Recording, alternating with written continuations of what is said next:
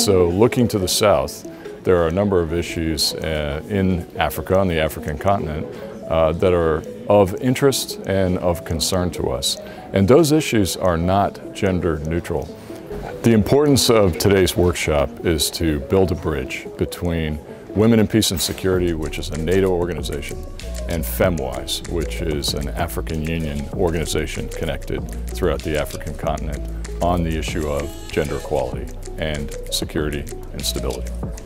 Le FemWise est un réseau de, femmes médiatrices du continent africain. FemWise vient sous le, ce qu'on appelle le Panel of the Wise, qui est euh, un panel composé de sages euh, africains euh, qui sont composés d'anciens premiers ministres, d'anciens présidents, qui ont euh, une voix au niveau de l'Afrique et qui ont une certaine euh, influence sur le continent africain.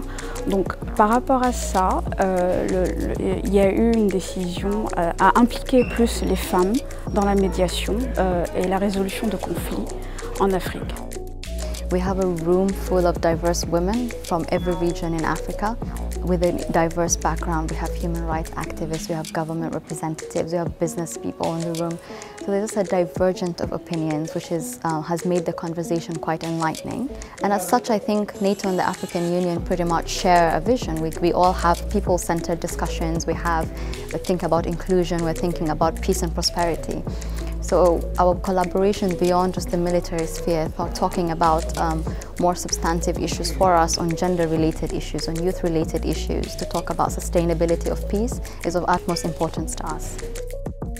And uh, we hope that uh, uh, if the principles of the two organizations uh, uh, agree, they, there will be a memorandum of understanding of some sort, which actually defines the activities for cooperation. So we would like to see this workshop as a stepping stone to future partnerships that will continue. We recognize that women come from different backgrounds, and most of these backgrounds, sometimes they are characterized by hardships, sometimes they are characterized by different operating environment, conflict situations. So dancing is part of that therapeutic process to heal, but also to connect. Uh, it's part of the human connection. What connects us is bigger than what divides us.